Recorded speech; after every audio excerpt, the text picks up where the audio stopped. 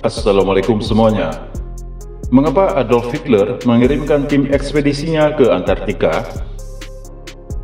Sejumlah pendapat menyatakan bahwa Nazi membangun markas rahasia di Antartika selama Perang Dunia Kedua dan didesain untuk pendaratan UFO. Namun tentang hal ini sudah banyak dibantah oleh sejumlah para ilmuwan. Namun pendapat lain menyatakan bahwa Adolf Hitler mengirimkan timnya ke Antartika untuk memburu ikan paus sebagai salah satu bahan baku logistik bagi pasukan Nazi yang akan menjalankan invasi atau pendudukan ke Eropa Timur.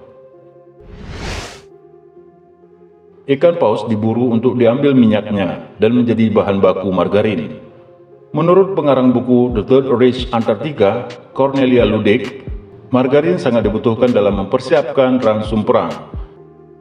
Maka tepat pada musim panas 1938, Hitler membentuk tim ekspedisi rahasia ke Antartika untuk mencari minyak ikan paus. Hermann Göring dipilih sebagai penanggung jawab misi yang disebut dengan German Fat Plan.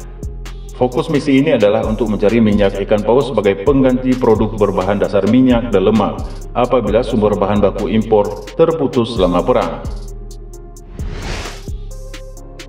Hitler mengutus tim ekspedisi pemburu minyak ikan paus yang dipimpin oleh Kapten Alfred Richard, Komandan Angkatan Laut Nazi pada Perang Dunia Pertama. Pasukan ekspedisi membuat kapal penangkap ikan yang diberi nama Schwabenland. Di dalamnya terdapat instalasi pengolahan minyak ikan. Kapal ini memulai pelayaran dari Hamburg pada 17 Desember 1938 bersama 82 ilmuwan dan sejumlah petugas serta tentara. Pasukan ekspedisi Hitler ini pun menjelajahi Samudra Antartika karena kala itu penangkapan ikan secara komersial di Atlantik dan Pasifik Utara sangat dilarang. Oleh sebab itu, ide untuk mendirikan markas di Antartika tampaknya adalah hal yang sempurna.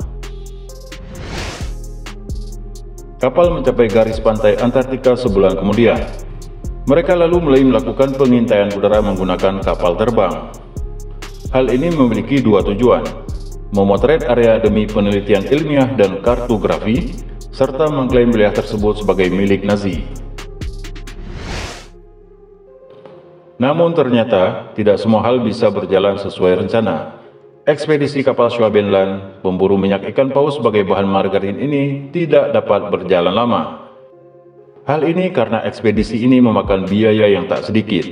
Di sisi lain, Nazi harus menghemat biaya untuk keperluan perang. Akhirnya ekspedisi ini dihentikan dan mereka kembali ke Jerman pada 5 Februari 1939.